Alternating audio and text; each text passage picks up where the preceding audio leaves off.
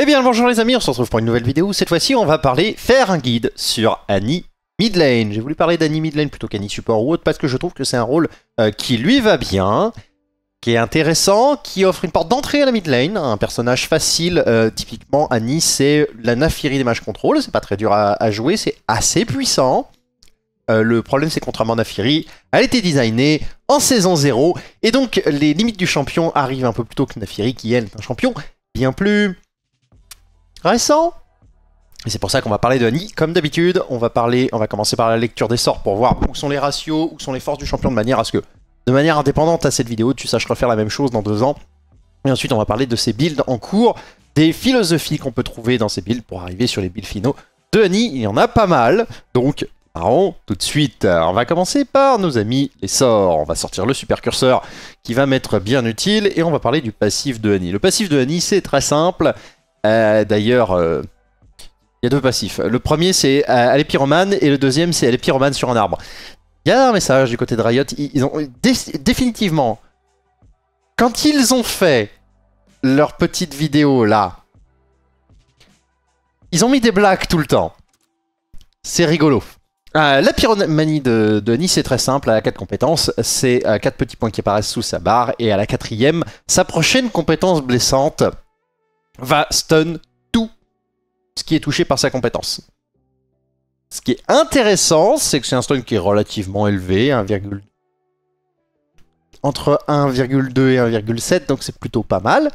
Euh, ce qui est intéressant, c'est que du coup, ça va scaler sur l'ensemble de ses sorts. Euh, c'est pour ça qu'on va commencer par parler de son A, la désintégration, qui est euh, extrêmement simple. C'est une boule de feu qui, euh, lorsqu'elle touche un ennemi, le stun si vous avez pyromanie. Si vous touchez un minion et vous l'exécutez, vous récupérez le coût en mana et le délai de récupération est réduit de 50%. Ce qui veut dire que là, vous avez un spell qui dure 4 secondes, qui coûte 60 euh, coups en mana. C'est fonctionnellement un spell pour farmer qui n'a pas de coût en mana et qui a 2 secondes de CD. Le problème de cela, c'est quand vous utilisez votre A, vous êtes en train de désynchroniser votre passif, qui est votre principal outil de trade avec votre, euh, votre adversaire. Paradoxalement, quand vous avez votre passif, vous faites très peur. Quand euh, vous êtes en train de cycler votre A rapidement, vous faites vraiment pas peur du tout. Ce qui offre des moyens de jouer pour votre adversaire. Pour un sort ciblé, ses dégâts sont pas énormes, son coût en mana est relativement élevé, sa range est pas folle, et son ratio est ok. Ce qui fait ce sort, c'est littéralement que c'est l'engage long range euh, de, de Annie ciblé, c'est quand vous avez votre stun, vous envoyez ça, c'est comme une gold card. Dans le jeu, c'est assez rare. Donc, je le dis. Accessoirement, sinon c'est surtout la, le reset qu'on a introduit, parce qu'elle avait pas ça au début, Annie, euh, qui fait que le champion est bien, bien plus intéressant pour farmer, et notamment facile pour farmer. Euh, si vous êtes typiquement bronze-argent, euh, vous pouvez vous dire que vous farmez OA avec Annie, et il y a peu de gens qui vont vraiment vous punir plus que ça. Vous avez d'autres choses à travailler avant de vous mettre à jouer avec le passif de Annie si fort que ça. Juste farmer la désintégration, c'est pratique et ça coûte pas de mana. Faut pas se planter, mais c'est un moyen de farmer avec des sorts qui est assez intéressant et assez éducatif. Si on passe au sort suivant, l'incinération. Alors l'incinération, c'est euh, bah, c'est son A mais en cône. C'est non ciblé, c'est-à-dire que vous le mettez autour de vous. Des persos qui peuvent euh, dasher à travers vous, derrière vous, vont avoir tendance à l'esquiver. Donc contre les corps à corps, ça peut être un peu gênant.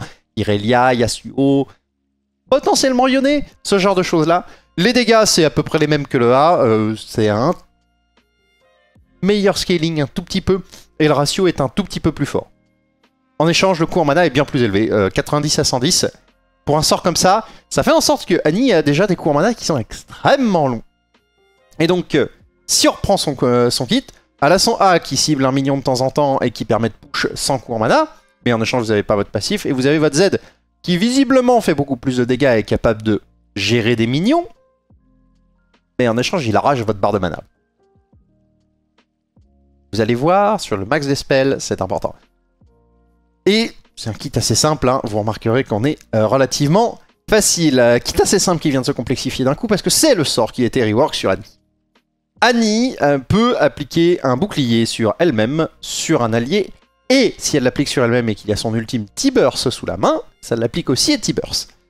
Ça donne un bouclier qui a des valeurs relativement ok pour un bouclier. Il dure longtemps, ça il faut le, dire. Et surtout, il y a un gros boost de vitesse de déplacement qui diminue progressivement qui scale en fonction des niveaux. Donc, grosso modo, ce qui est intéressant, c'est que la move speed du bouclier dépend des niveaux d'Annie. Les valeurs du bouclier dépendent du niveau du bouclier. Aussi un peu le niveau d'Annie, mais euh, si vous maxez le bouclier first, ce qui était fait sur les Annie support à une époque, vous n'obtenez pas la vitesse de déplacement, mais surtout un gros shield.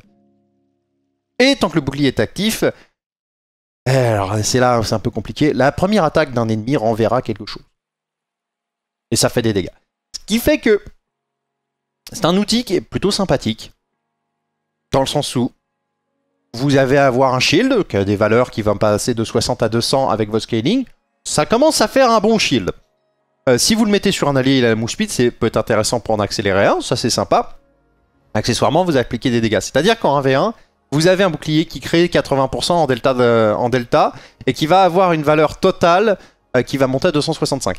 C'est plutôt pas mal, euh, sachant que c'est par bouclier, donc T-Burst réapplique ça aussi. vous pouvez vous retrouver à avoir un sort qui sert dans les trades. Mais c'est pas si fort que ça, ça a été nerfé. Et donc, globalement, ce que vous allez avoir, c'est un sort qui va baisser un peu en CD quand vous le montez, et qui va monter en cours mana. Vous remarquerez une seule chose, c'est que Annie, tous ses cours mana augmentent. C'est un personnage qui, n'a pas de sort en, dessous des 60 points de mana, et donc tous les coups augmentent. C'est un champion qui va aimer avoir de la mana, juste à la lecture des sorts. Et vous allez voir, là vous avez un champion qui a un stun en passif, un dégât, un dégât et un shield qui lui permettent de s'approcher pour mettre son stun en passif, et un ultime, que vous connaissez tous, c'est T-Burst. Euh, celui-là, vous le connaissez, c'est son ourson. L'applique son ourson ici. Ça a plutôt une bonne range d'application, et ça a plutôt un sort qui a une grosse zone. Ça fait des dégâts magiques. Et accessoirement, pendant les 45 secondes que dure T-Burst, il a une capsulaire intégrée qui va scale à 12% de votre AP. 12% de votre AP en dégâts magiques par seconde. C'est pas mal comme ratio. Et accessoirement, Tiber s'enrage à deux endroits. Quand il est invoqué et quand Annie meurt. Et dans ce cas-là, à l'enragement, euh, vous avez 270, euh, vous avez beaucoup de vitesse d'attaque, beaucoup de vitesse de déplacement pour Tiber. C'est-à-dire que même si vous le ratez, ça va quand même faire des dégâts. Accessoirement, appuyer sur R vous permet de contrôler T-Burst. Ça, c'est quelque chose qui est très important à maîtriser en tant qu'Annie parce qu'un T-Burst, en early game, ça a beaucoup, beaucoup, beaucoup de points de vie. Enfin, 1150 points de vie avec 30 d'armure, 30 de RM c'est relativement infect à gérer en early game, au niveau 6. Ensuite, ce qu'il faut savoir sur T-Burst, c'est que son armure scale sur vos niveaux, mais ses points de vie et ses dégâts scale sur votre AP. Donc, avec Annie, vous avez, et c'est pour ça que d'ailleurs vous avez des, des Annie support qui fonctionnent très différemment des Annie mid, vous avez des besoins d'obtenir des niveaux pour obtenir votre tankiness et votre move speed. Le tankiness de votre R et votre move speed. Ce qui est bizarre parce qu'au final, ce serait des trucs qu'on aimerait plus sur Annie Support.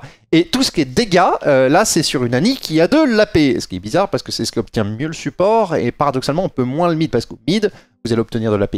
Oui, un peu moins vite que les supports. Si, des golds gratuits hein, sur les supports. Et euh, surtout, vous allez obtenir de l'XP. En fait, au mid, vous êtes une version qui engage mieux, qui tank mieux, et qui a un passage où au niveau des dégâts, c'est un peu moins bien euh, techniquement sur les items, mais c'est compensé par le fait que vous ayez des levels et donc un peu plus de dégâts dans vos sorts. Et grosso modo, quand vous augmentez, vous avez les dégâts initiaux de T-Burst qui montent bien, euh, vous avez les dégâts du Halo, donc la cape solaire qui monte pas mal, même si ça va très vite être dépassé par votre AP. Et vous avez les dégâts d'attaque de T-Burst, euh, son auto, qu'il applique assez vite, qui, vont, qui vont doubler, et de la vitesse de déplacement bonus, et ça on le sait pas, de T-Burst, de base qui va être donné. Délai de récupération qui baisse un peu. Le cours en mana qui ne bouge pas et qui est à 100. Vous avez donc un champion dont le but, et c'est assez clair, est de prendre son passif, de l'appliquer sur une cible ici si elle bouge beaucoup, de l'appliquer à une zone si jamais vous, vous êtes sur votre Z, ou de l'appliquer à une zone avec votre R. L'outil d'engage favori de Annie, c'est le Flash R, c'est le Flash Z, c'est le Flash A. E-Z-E-A-E-R, ça marche aussi, mais sur certains champions.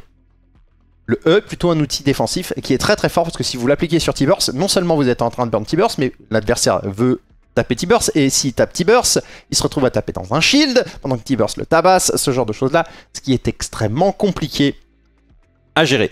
Vous avez un champion dont tout est dans le burst. Et donc, je vous ai dit, des cours mana élevés, tout est dans le burst. En général, euh, c'est deux choses qui vont pas ensemble. Parce que ça veut dire que Annie va effectivement avoir des dégâts avec des ratios qui montent pas tant que ça.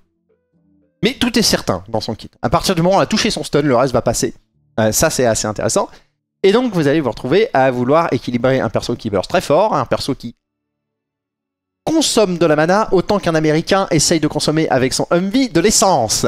Ça siphonne Et c'est la seule chose euh, qu'il faut retenir de ce champion, et vous allez voir tous les builds, toutes les constructions vont être calibrées autour de cette dualité de Annie de bonjour, je burst et je veux faire que ça.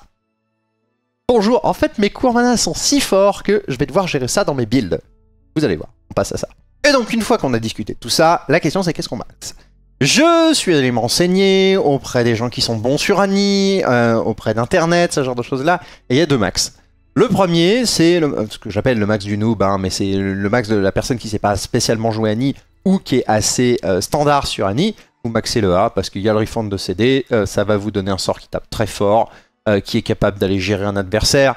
Vous êtes très bien. Ensuite, c'est le Z obligatoirement et le E. Ensuite, maxez le E en deuxième n'est plus si fort que ça. Vous voyez, vous allez obtenir la move speed qui est vraiment ce qui permet d'activer votre kit avec des levels. Et le reste, c'est principalement des ratios. Ça fait pas assez de dégâts pour être utilisé dans des trades. Pour Annie Support, c'est autre chose, mais pas pour Annie Mid. Vous avez ensuite le Annie Special. Euh, plus vous montez en Hello avec Annie, plus c'est ce build là qui est pris en compte. Là, il est à 10% des games. Ici, euh, vous allez vous retrouver avec un build qui est de l'ordre euh, de 20% en master. Et l'idée de base, et ça fait monter son win rate à 57-58%, l'idée de base de ça, c'est de dire, vous mettez 3 points dans votre Q-Spell pour avoir l'early game, pour pouvoir farmer, pour pouvoir trade dans l'early game. Et ensuite, le problème que vous allez rencontrer avec Annie, c'est quand j'arrive level 10, euh, 11, j'ai mon Q-Spell maxé, ok, mon adversaire est capable de clean des waves. On est à la mid lane, je vais avoir des Oriana, des Azir, des, des Harry. Ils mettent un spell dans la wave et ils m'ont push. C'est dommage pour un perso qui veut burst, qui est fort en early game, parce il y a vraiment des choses dedans. Il y a aussi, et je l'ai pas dit, une énorme portée d'attaque qui va être très forte dans le laning. Et résultat des courses, quand on fait tout ça mis bout à bout, euh, le, problème qu'on va rencontrer, c'est que bah, vous pushez pas les waves, donc vous faites rien. Donc il faut vraiment avoir un gros contrôle sur votre adversaire, l'avoir déjà oblitéré pour jouer. Les main Annie, ou les, gens qui voient dans les match-ups que c'est faisable, il faut regarder dans vos match-ups. Là, pour ça, j'ai pas... Pas de solution, je peux pas vous dire tel match-up, tel max. C'est vraiment à voir, mais vous mettez 3 points dans votre Q-Spell pour tenir leur game, vous maxez votre Z tout de suite, et là, vous obtenez au level 10 euh, une capacité très importante de push. Parce que, paradoxalement, prendre un point dans son spell principal en plus, ça ne retarde que d'un niveau le max du spell que vous voulez maxer. Parce que tant que vous mettez des points dans A et Z en même temps, vous retardez pas vraiment le max. Ça, c'est à prendre en compte. C'est-à-dire que vous avez votre max au, level 10 au lieu de l'avoir au niveau 9. C'est pas très gênant. Alors que si vous maxez votre A, votre Z, vous l'avez au level 13. Et croyez-moi, j'ai fait les calculs pour les, stats de... Alors c'est les niveaux. La quantité d'XP que vous avez besoin pour monter en niveau augmente assez drastiquement euh, après le niveau 4 et ensuite après les... Je crois que c'est au niveau 7-8 où ça commence à réaugmenter fort. Donc vous partez du principe que vous allez avoir votre niveau 1 à 7 assez régulièrement. Votre 9, ça va aller. Mais le 13, les games sont un peu plus lointaines. Vous allez vous en servir, mais vous aurez peut-être plus le contrôle sur vos waves. Alors que si vous l'avez au level 10, vous avez normalement encore le contrôle sur vos waves un petit moment. Et c'est vraiment les quelques minutes qui peuvent faire la différence. C'est pour ça que je, ne vais pas vous conseiller l'un ou l'autre, mais vous voyez clairement qu'il y en a un qui est un peu plus puissant que l'autre si vous savez le maîtriser. Il y a des match-ups qui dashent trop, des match-ups sur lequel votre Z vous pouvez pas le poser ou vous n'avez pas accès à la wave parce qu'ils ont trop de range, vous ne maxez pas le Z, maxez le A. Parce que c'est votre outil de, euh, de, trade certain. Et dès que vous savez le faire, le max Z est bien plus puissant pour la raison que je viens de vous dire, contrôler des waves. Au niveau des summoners, Annie c'est extrêmement simple, vous prenez un flash. Compris Tout joue avec votre flash. Ghost, c'est probablement un trap. Euh, depuis son, rework, c'est vraiment difficile à utiliser. Barrière, je ne vais pas conseiller parce que Annie, on est véritablement dans un personnage qui va avoir des problèmes de mana, veut trouver des décalages sur la bot lane et peut avoir des problèmes de push. Donc la téléportation, c'est très important pour gérer ce genre de choses-là. L'Ignite, si vous connaissez votre match-up et que vous êtes bien, parce que c'est un burster à la base, l'Ignite va vous permettre d'ajouter un peu de burst et de vous en sortir dans ses trades. Ce qui est principalement la seule chose que j'avais à vous dire sur les summoners de Annie. Passons aux runes. Alors, pour les runes, Annie, euh, on va être très clair, on ne joue pas Annie AD, on ne joue pas ici, et on va jouer le reste. Euh, je vais vous expliquer. Vous avez des options burst, des options auto-attaque, parce que Annie a une très belle auto-attaque, très grande range. Euh, souvent, elle est capable d'out-range à peu près n'importe qui qui n'utilise pas ses sorts à la mid lane. Annie, c'est de l'ordre de Caitlyn hein, en termes de range. C'est ce genre de champion dans le ressenti. C'est pas la range exacte, mais c'est le ressenti. Quand vous êtes face à Caitlyn, vous avez l'impression que vous pouvez jamais l'atteindre si elle gère bien sa range. Annie, c'est un peu le même délire. Sauf que Annie, a un problème, c'est que ses sorts font pas avec. Euh, Annie, c'est un champion qui a une belle auto, et accessoirement qui veut rentrer dans l'adversaire. Caitlyn, c'est un peu l'inverse. Elle a une belle auto, et tous ses sorts sont faits pour maintenir l'adversaire pile poil à la bonne distance. C'est pour ça que Caitlyn, euh, vous avez l'impression qu'il y a énormément de range, là où Annie, dès que vous la voyez près de vous, vous avez des problèmes. Si vous jouez avec votre auto, vous avez Aeri qui est disponible. C'est très puissant dans les match-ups que vous voulez martyriser en early game. Les mêlés qui vont pas vous engage, typiquement Cassadin. Les gens qui ont des bonus en général euh, face à vos sorts qui peuvent les gérer, genre Cassadin. Euh, les gens qui vont devoir être abusés en early game, genre Cassadin. Vous voyez le délire euh, si vous avez ce genre de match-up, vous pouvez jouer Aeri. C'est aussi extrêmement bien pour transitionner sur une Annie un peu plus support. Typiquement, si vous vous retrouvez avec Annie mid et que vous avez un Olaf, un Xinfed, un, champion comme ça qui a besoin d'un peu de move pour jouer, et vous, vous êtes un bot ACC. Bon, ça vous permet d'améliorer un peu votre shield sur votre E, vous avez la move speed à lui donner avec vos levels. Franchement, ça peut jouer. Tout le reste, euh, ça va être des outils de gestion, des outils de burst. Outils de gestion de lane, c'est clairement la commande. Quand vous allez toucher quelqu'un, vous allez avoir tendance à ne pas le, toucher dans la wave et donc utiliser Comet pour push ce qui est assez sympathique. Ou alors vous allez mettre un stun et Comet va rajouter à votre burst. Parce que ça ne s'esquivera pas. C'est ça qui est assez intéressant avec Comet, c'est pour ça que c'est joué. Ensuite, vous avez la rune qui a été nerf et que je ne vais pas trop vous conseiller, qui s'appelle First Strike. Je ne vais pas vous la conseiller pour la bonne et simple raison qu'elle a été un peu trop nerf pour les ranges. Euh, je pense que comme toutes les runes de génération de gold et de dégâts, euh, il faut les prendre quand elles sont en forme, et ensuite il faut oublier. Par contre, si vous la passez, c'est génial. Parce que c'est la rune qui va vous permettre d'avoir des games un peu rigolotes. Mais c'est juste pour euh, être rigolo. Ici, il y a 12% de gens qui choisissent de le prendre en solo queue. Il faut absolument avoir la prio sur l'engage. Tout le temps. Vous avez euh, Moisson Noire et Électrocution. C'est un peu particulier. Annie n'est pas un champion qui naturellement va proc Moisson Noire pour proc Moisson Noire. typiquement, on n'est pas dans Cartus ou le ou, ou Brand ou avec leur dot, sont à peu près certains qu'il y a quelqu'un qui va passer sous 50% de points de vie et, et proc leur moisson noire assez régulièrement. Annie proc la moisson noire en tuant quelqu'un. C'est très fort, euh, mais ça veut dire qu'en fait, quand vous prenez Moisson Noire, c'est que vous êtes sûr que vous allez le match-up, que vous allez lui rouler dessus, que vous lui roulez dessus, et qu'ensuite euh, vous l'écrasez. C'est une rune extrêmement particulière que je ne vais pas vous conseiller de faire, sauf si vous êtes très bon sur Annie. dans ce cas-là, si vous êtes très bon sur Annie, pourquoi vous regardez mes vidéos? Allez review vos games et bien entendu, vous avez l'électrocution qui est assez simple. Euh, je fais des dégâts, en général avec Annie, je mets un spell, un deuxième et une auto, je prends qu'électrocute, ça marche. Comme euh, je suis un champion qui a tendance à faire des dégâts long range, la véritable question c'est est-ce que je veux plus de sustain en lane ou est-ce que je veux plus de dégâts? Ici c'est plus de dégâts, et spécifiquement sur Annie, chasseur acharné, je suis pas tout à fait fan, parce que Annie est un champion qui a T-Burst. 45 secondes de CD euh, sur notre ami T-Burst de durée. Ensuite, vous ajoutez le CD de Tippers et vous pouvez vous apercevoir que Riot Games s'est arrangé pour que si vous avez un chasseur ultime, un peu d'accélération de compétences ou un peu d'accélération d'ultime, vous vous retrouvez avec un champion qui a tout le temps T-Burst. Vous posez T-Burst, vous jouez avec, ça vous permet de push, ça vous permet de contrôler. Tant que vous le maintenez en vie, vous êtes bien, votre adversaire il doit gérer T-Burst. Vous avez deux champions, c'est plus dur à gérer hein, parce que vous êtes un des rares champions du jeu qui en a deux. Euh, il y a Hivern comme ça, il y a vraiment Yorick. Yorick vous jouez à deux. Même si vous pouvez pas contrôler le deuxième, vous jouez à deux. Et donc vous êtes dans ce genre de champion. Et ça offre des possibilités qui sont assez intéressantes. D'où le fait que je vais vous conseiller de jouer chasseur ultime. Si vous prenez cette route-là. Pour la route bleue, la question c'est est-ce que vous voulez de la mana? Oui, je veux de la mana. Euh, et la suite, ça va être Transcendance pour reset en fight, parce que vous avez des CD qui sont pas si courts que ça, et qui vont en général partir tous en même temps.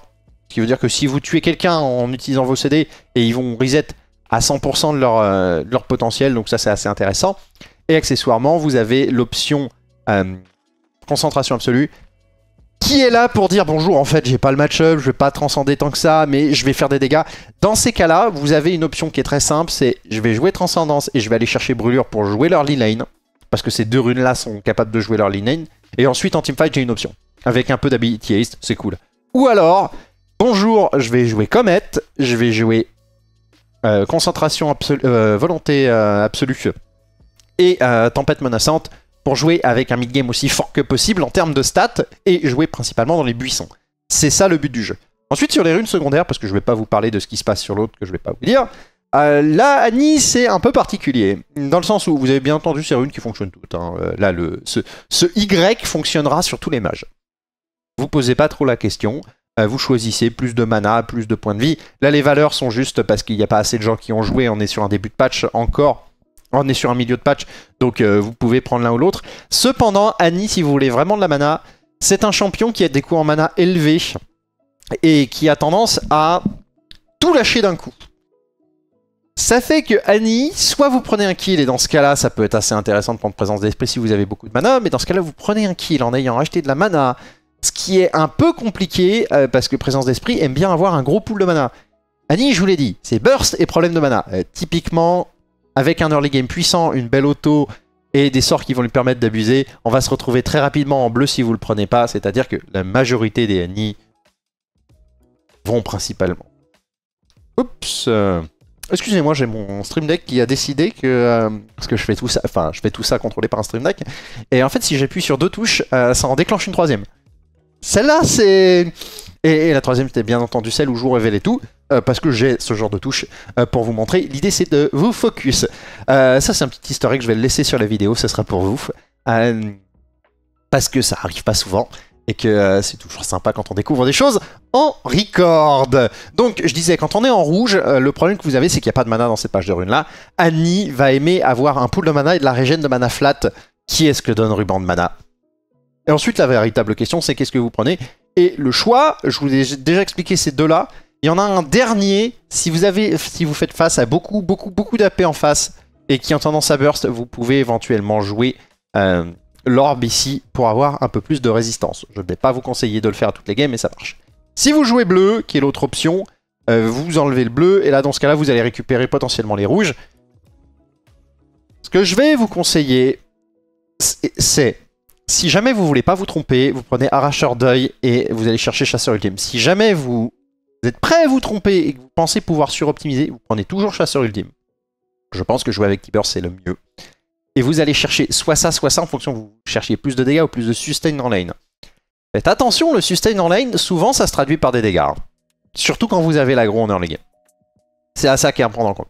Si vous faites face à des gens qui vont vous sauter dessus, vous burst, coucou Irelia, et même si Irelia, bon ça peut s'arrêter avec Annie, Black DOS sur croissance. Vous avez des builds avec des points de vie euh, sur Annie, c'est très bien. Annie peut aussi avoir tendance à aimer jouer bot et euh, le triple tonique parce qu'elle a un timing level 6 qui est assez puissant.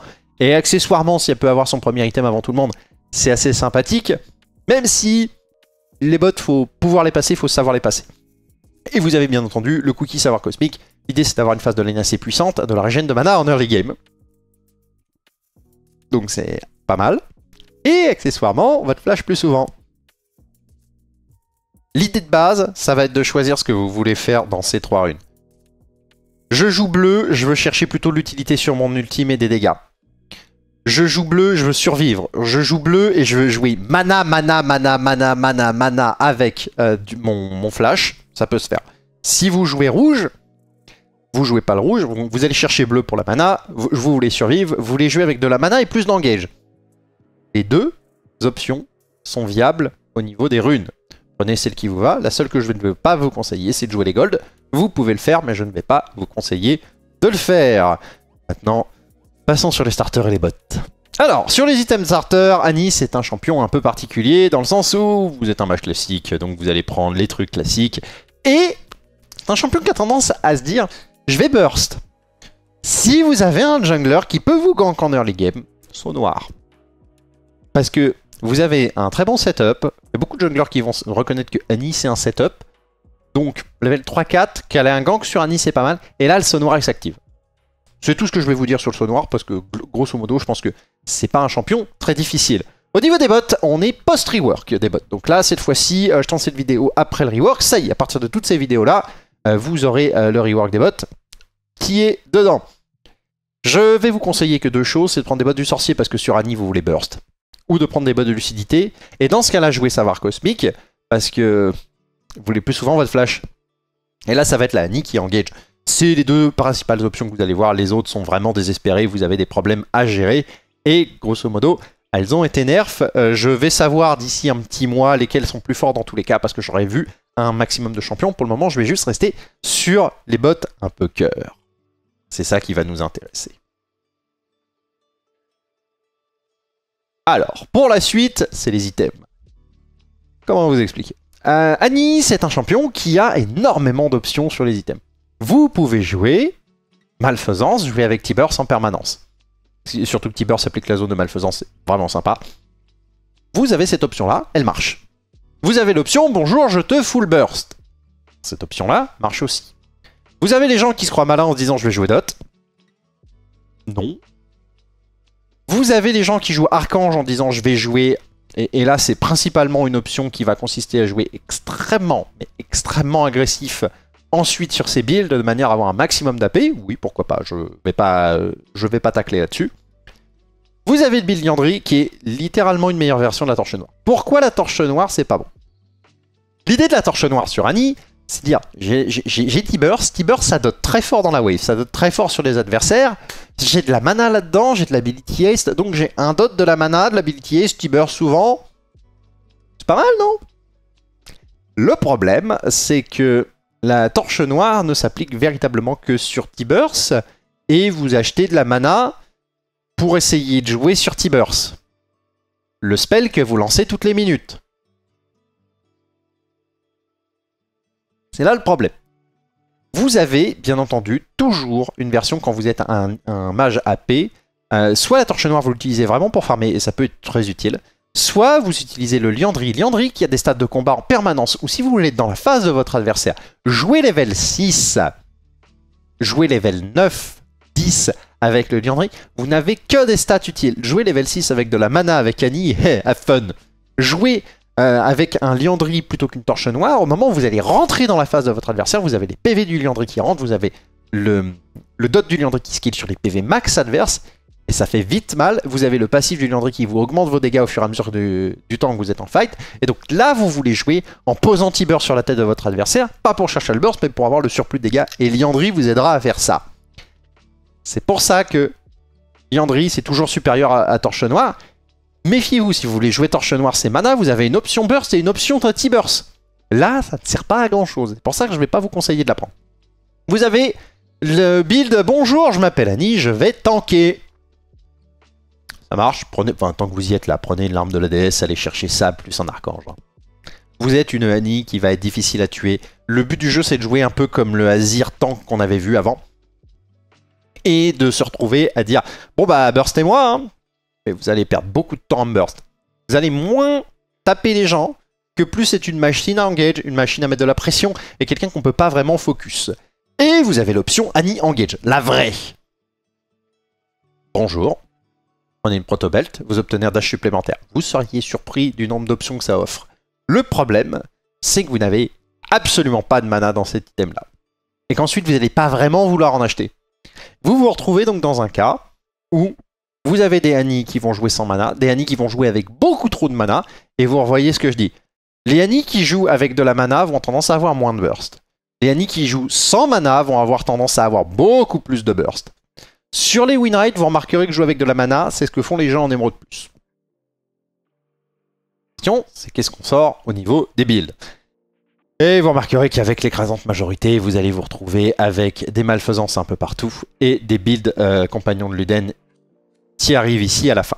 Ce que je vais vouloir que vous reteniez là-dessus, c'est de dire, avec Annie, vous avez des builds T-Burst. Les builds T-Burst, ils s'activent surtout avec un Liandry. Vous avez des builds burst. Et les build burst, c'est de dire bonjour, je suis Annie, en fait je suis passé devant avec la malfaisance. Bon, c'est pas terrible, mais je peux repasser sur du crit euh, pur et de la euh, de flat.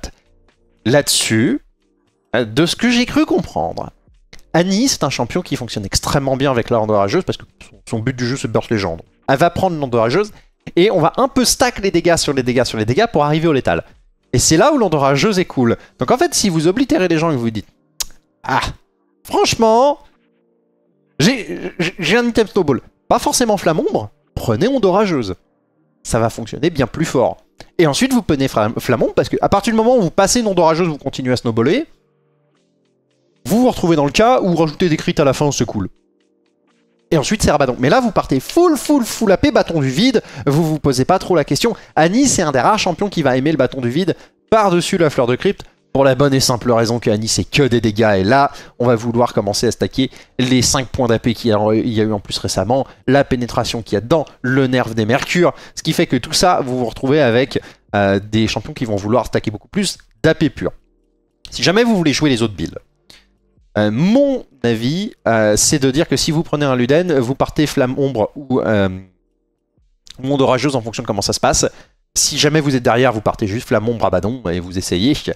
Sinon, vous vous en sortez pas. C'est une option burst. Si vous jouez ensuite avec ces deux options-là, vous avez toujours l'option de jouer Manaless. Et donc, pour un Liandry, vous pouvez aller chercher un Riley, qui est très puissant parce que ça permet à T-Burst de coller vous allez devoir être extrêmement bon sur la, votre gestion de mana. Si vous faites ça, potentiellement vous pouvez juste passer par 400 gold et une tears. Parce que bon, ça va vous ajouter la mana en masse, c'est quand même appréciable. Ou alors vous repartez sur un item de mana et donc vous inversez, vous faites pas malfaisance Liandry, vous euh, enfin oui, euh, Liandry, vous faites Liandry malfaisance. Ça se joue. Pour cet item là, je vous dirais vous continuez à partir sur un, à partir sur un build full AP vous êtes plutôt sur une, option, une optique défensive, je veux jouer avec beaucoup de points de vie, continuez à jouer ça, vous allez jouer avec des runes qui vont avec. Et si vous jouez full agression comme ça, c'est flamme ombre, c'est l'option burst que vous allez chercher, et ensuite euh, vous débrouillez. Le Riley, c'est une option qui marche toujours si vous avez un Liandry. Mais vous devez généralement vous baser sur le fait que le Riley c'est beaucoup de statistiques défensives, donc ça doit être joué ailleurs. Vous remarquerez d'ailleurs que même le build normal de Annie, euh, vous avez la malfaisance, mais vous avez ensuite deux items qui fournissent énormément de tanking. Derrière, vous prenez une Rabadon pour activer vos ratios, et vous allez chercher un Zonia. Vous pouvez vous retrouver dans le cas où vous devez choisir entre Rabadon et Zonia, parce que vous allez vouloir, et ça, ça se voit assez euh, souvent, en dernier, prendre un Void Staff ou un item de pénétration. C'est-à-dire que votre quatrième item, si vous avez pris un Liandry, vous choisissez entre Zonia et Rabadon. Survie ou dégâts. Ça, c'est à prendre en compte et c'est vraiment très important sur Annie. Parlons un tout petit peu de l'assemblage de ce qu'on peut faire sur le champion. Hop Alors, on va se faire un nouveau build, on va aller chercher notre ami Annie et je vous ai dit, euh, la base, on va vous la présenter. Ça va être de jouer comme ça. Euh, je vais pas trop vous poser euh, de, questions là-dessus. Vous allez vouloir jouer ça. Vous jouez avec de l'attaque speed avec Annie parce que c'est très puissant son auto-attaque et vous voulez jouer principalement à la téléportation. Si vous voulez jouer une Annie qui fonctionne bien, vous partez à à la note d'Oran. Là, vous n'avez pas trop de soucis. Et ensuite, la véritable question qui va se poser, c'est quel starter vous faites? Comme on est dans la version un peu classique, je vais vous proposer de partir sur une malfaisance. Et derrière, on a dit, on veut chercher un Liandry, on va chercher des bottes de sorciers, et vous voulez aller chercher... Derrière, c'est le Riley. Riley, Riley, qui est ici. Et derrière, c'est Rabadon Voistaff. Là, vous avez un build de Annie qui fonctionne. Vous avez un build de Annie, c'est Annie standard. Celle-là, vous le faites et ça fonctionnera. Si je duplique ça et que je vais la chercher. Ensuite, l'autre option, ça va être de jouer plutôt comme ça. Si jamais vous êtes très très très fort en lane et que vous cherchez pas vraiment les dégâts, mais le fait de dépasser votre adversaire, n'oubliez pas que chip shot, ça fait 10 à 45 points de dégâts bruts. Si vous vous soignez la même chose, c'est à peu près aussi puissant. Vous remarquerez ici que les dégâts bruts ne s'appliquent qu'après un crowd control. Résultat des courses, vous pouvez souvent prendre Test of Blood un peu plus, euh, un peu plus souvent que ce que vous auriez fait sur un chip shot.